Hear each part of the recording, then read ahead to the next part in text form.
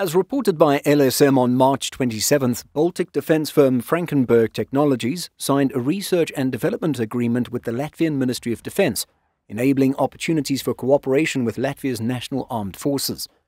The company, first established in Estonia but now also established in other corners of Europe, aims to establish a production facility and a research and development centre in Latvia. Let's take a look at the company and the plan for today's video. Starting off with the somewhat recent news, Estonia's Frankenburg Technologies has chosen Latvia to house a site for R&D and production activities. The company is all about anti-drone missiles, something that militaries must be heavily interested in by now, given all that is going on in Ukraine. A Ukrainian rescue team lifts a casualty from the rubble after a Russian drone attack. Russia has launched the biggest drone strike on Kiev since the war began. Russia launched a record 54 so called kamikaze drones on Ukrainian targets. When it comes to the deal, Frankenburg CEO was quoted as saying, The choice of Latvia is not accidental. Here there are strong traditions of rocket development and talented engineers. Cooperation with Riga Technical University has already proven its effectiveness. Latvia has everything necessary for further product development and production. At the time of the report, Frankenburg was evaluating several potential locations in Latvia for its future site, and LSM noted that a final decision on the location of the production facility was planned to be made in the near future.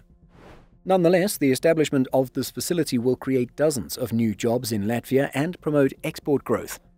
The Latvian Investment and Development Agency also highlighted that it would strengthen Latvia's scientific research potential in the field of defense. This news notably came a few weeks after Frankenburg signed a research and development contract with the Ministry of Defense of Latvia, one of a handful of contracts the company has signed thus far, although many cannot be disclosed just yet. That's the essence of the news, but what else can we tell you about Frankenburg Technologies? Well, its website's main page states, We are in the rocket science business. Our aim is to develop missile systems that are 10 times more affordable, 100 times faster to produce, and in quantities far exceeding current industry capabilities. We revolutionize missile targeting by employing our cutting edge AI powered situational awareness platform, enabling us to anticipate threats and stay ahead of our adversaries. The company says it has operations in several countries, including Latvia, Lithuania, Ukraine, Denmark, the United Kingdom, and of course, Estonia.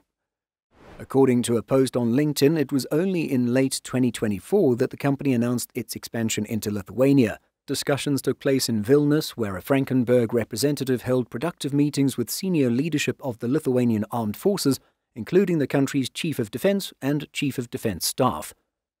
Information about the company, at least on its website, is fairly light, but LSM states that its technologies are specifically focused on neutralizing various types of unmanned aerial vehicles, including Iranian Shahed drones used by Russia in Ukraine. Unlike traditional reusable drones, these are designed for one-time precision strikes. In just the past year, Shahed drones hit commercial ships in the Red Sea, threatened the lives of US troops in the Middle East, and wreaked havoc in Ukraine.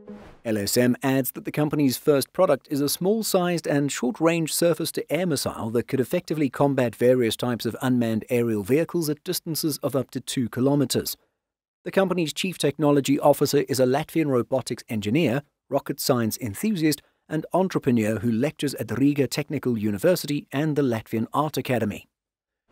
For such aspirational defense goals, the company is incredibly young, having only been founded in 2024. Nonetheless, it has attracted a number of high ranking retired military commanders to join the team, either as managers or strategic advisors. The company, which considers itself a true pan Baltic company with registered businesses in all three countries, sees itself as a disruptor to European defense, being a light, agile, and nimble startup that is able to innovate just as fast, if not faster, than the large and well established European defense giants. The firm is also registered in the UK and Ukraine.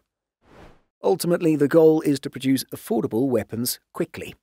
Of course, the company will need to convince more governments and their militaries of its potential if it is to attract more investment and secure more contracts.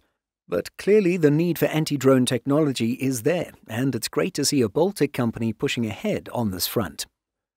What do you think of Frankenburg, its goals, and its decision to establish a site in Latvia? Let us know what you think by leaving a comment.